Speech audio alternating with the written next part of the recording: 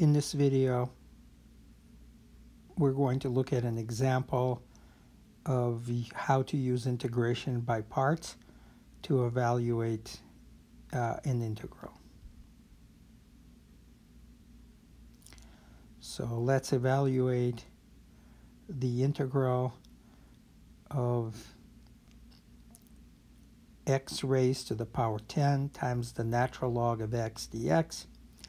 So whenever you see a power of x and a natural log and we use integration by parts, we want to let u equal to the log and dv equal to the power of x times dx.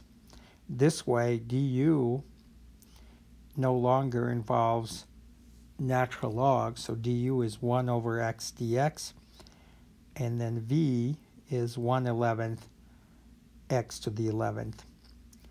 So the integral of x to the 10th times the natural log of x dx, this is the u dv integral, equals to u times v, which is 1 11th x to the 11th times natural log of x, so that is u times v, minus the v du integral, which is 1 11th x to the 11 times 1 over x dx.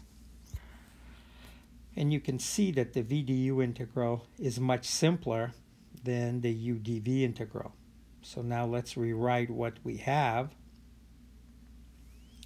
So rewriting what we have, we wanted to evaluate the integral of x to the 10th times natural log of x dx it's equal to 1 11th x to the 11 times natural log of x minus 1 11th times the integral of x to the 10th dx. And the integral on the right is very basic. So the integral of x to the 10th times natural log of x dx is 1 11th x to the 11th times natural log of x minus 1 divided by 121, which is 11 times 11 times x to the 11th plus c. We can further simplify. The answer above is fine.